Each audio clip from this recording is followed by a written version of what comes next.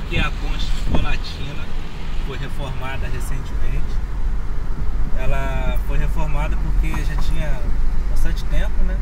Tinha pequenas reformas, teve uma reforma grande e agora contemplou maior espaço para os pedestres, ciclistas.